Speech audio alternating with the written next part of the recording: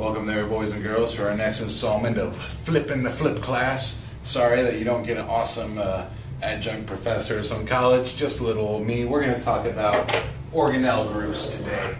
And we're just going to sort of clump them into the different associative groups that you should be thinking about. And I'm just going to talk about one of those groups, keep it nice and easy. So the groups are uh, protein synthesis and tracking, uh, trafficking, sorry, trafficking, protein synthesis and trafficking.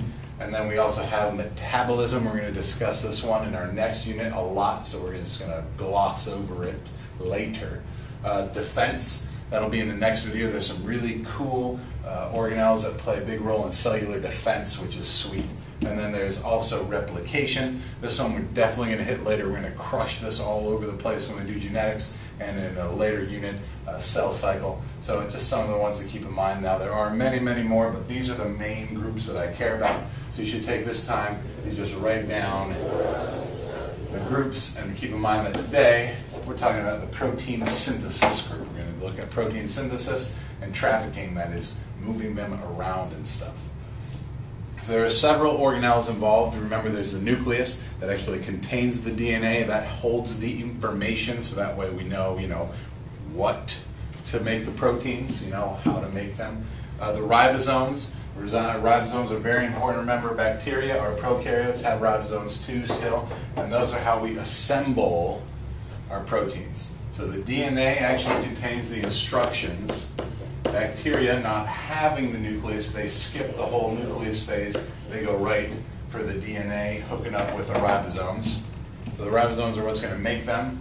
There's also the endoplasmic reticulum, which plays a big role, like you already know, in internal transport, trafficking around the inside of the cell. There's the Golgi, the Golgi, make sure capital G for Dr. Golgi. The Golgi plays a big role in transporting things outside the cell, so we're going to look at that one for exporting proteins. And the vesicles, which again you should be thinking of as like a briefcase or a book bag, that's your vesicle.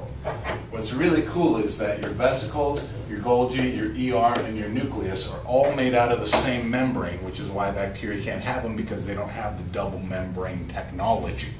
So all these are made out of the same kind of plasma membrane that we're going to learn about a little bit later in the unit. And then there's also the cytoskeleton, which is actually used sort of like a railroad to move the vesicles and other materials around the inside of the cell. The ER is sort of like a big conveyor belt.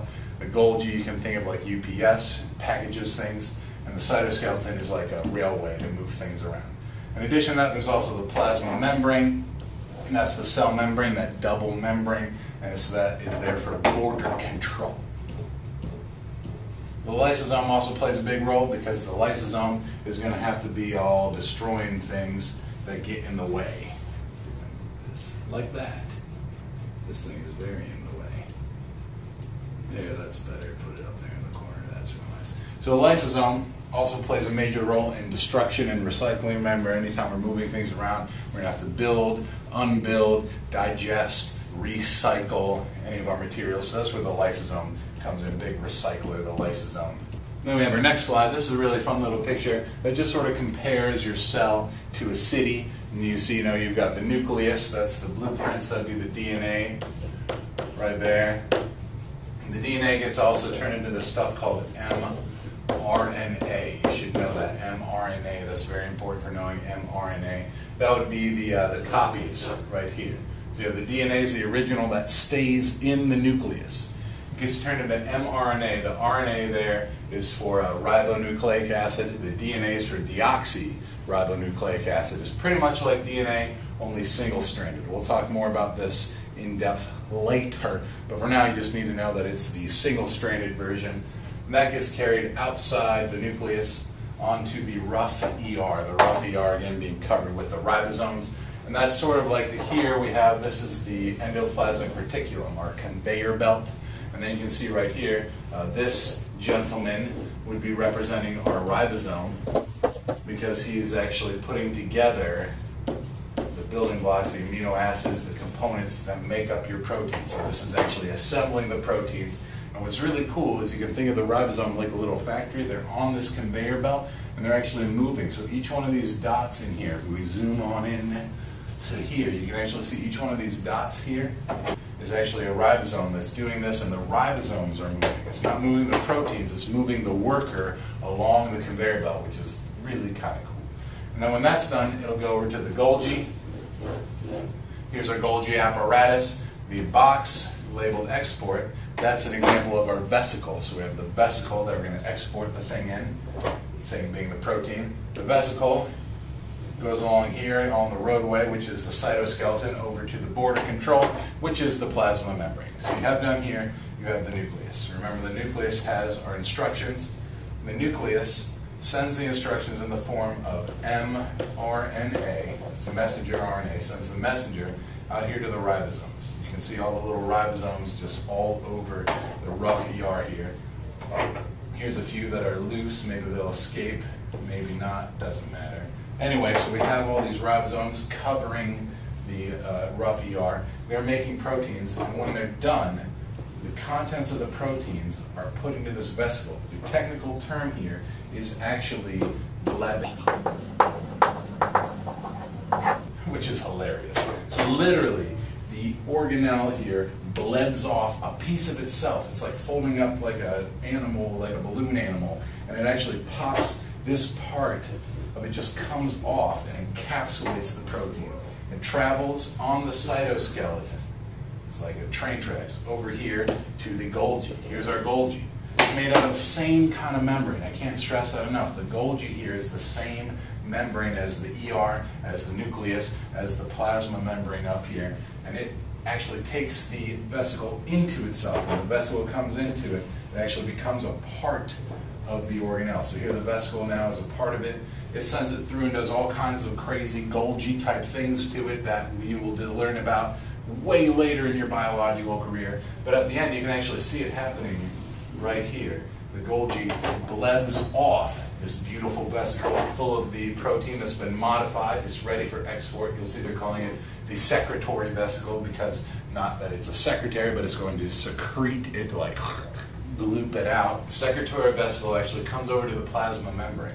And because this and this are made out of the same stuff, they're both made out of that same double membrane, the vesicle here can actually fuse up with the cell membrane, export the protein, there it is being exported outside of the cell, and then the job is done.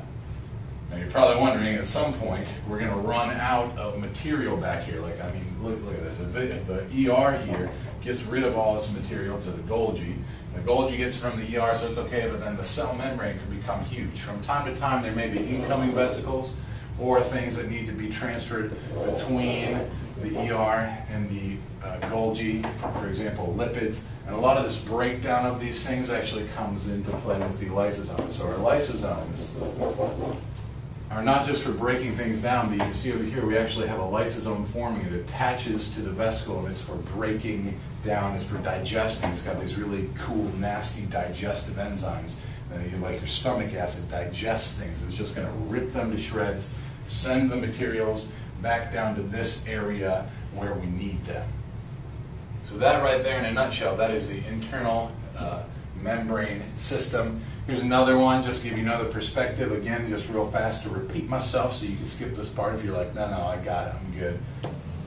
The vesicle travels from the rough ER to the Golgi, from where the Golgi does Golgi things, travels from the Golgi, it blebs off down here, and it travels from the Golgi to the cell membrane, where it actually becomes a part of the cell membrane, expelling the protein out into the extracellular space. That's the space outside the cell.